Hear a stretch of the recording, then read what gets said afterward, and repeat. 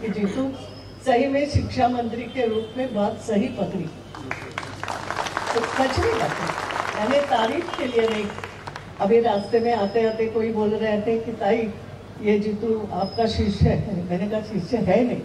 वो अपने व्यवहार से ज़रूर ये कल कहला सकता है कि हाँ ये लगता है ये ताई का शिष्य बनने लायक ये व्यवहार से। ये व्यवहार से।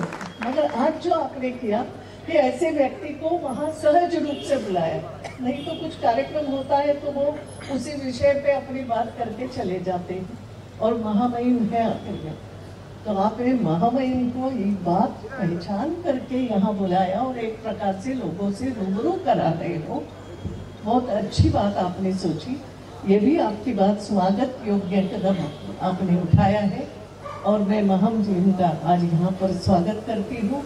कि आप इंदौर आए हैं, आप मध्य प्रदेश आए हैं। मध्य प्रदेश आपसे बहुत कुछ सीखेगा।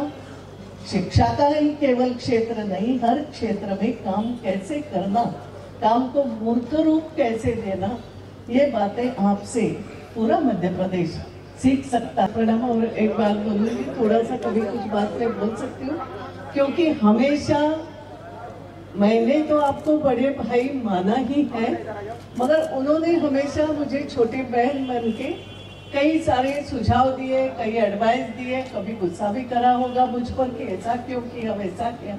इतने सालों साल का अनुभव है, इसलिए उन्होंने कहा, जैसे बैठ जाओ तो मैं बैठ गई मंच पर उपस्थित मैं अब सबका नाम लेने की तुलसी भैया आवश्यकता नहीं है ना? सभी मेरे अपने हैं। और मैंने महामहिम जी को कहा, ये सभी विधायक भी युवा और कुछ करना चाहते हैं। ऐसे ये लोग हैं। पार्टी का सवाल नहीं है। ये इंदौर का स्वभाव है कि इंदौर के लोग हम, मेरा अनुभव बता रहे हैं।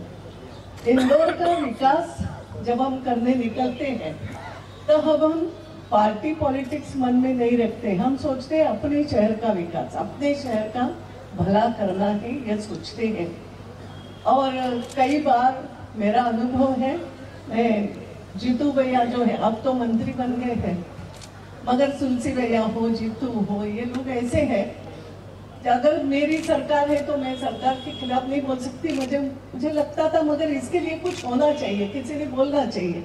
मेरे इंदौर के लिए ये ज़रूरी है। तो मैं धीरे से उनको बोलती हूँ, तुम करो कुछ। माफ़ करना, आज ये बोल रही हूँ कि भैया कुछ करो जरा। फिर मैं देख लूँगी, फिर मैं ऊपर तक बात करूँगी, शिवराज से बात करूँ, सब करके करवा लूँगी मगर थोड़ा कुछ उठाव करो इस काम को। और इन लोगों ने हमेशा मेरी बात मानी है, क्योंकि इंदौर के भले के लिए था, यहाँ का ये स्वभाव है। और इंदौर के लोगों का भी स्वभाव है। जैसे अभी कहा ताई सबकी है। तो ताई सबकी इसलिए है कि आप सबने मुझे अपना माना है।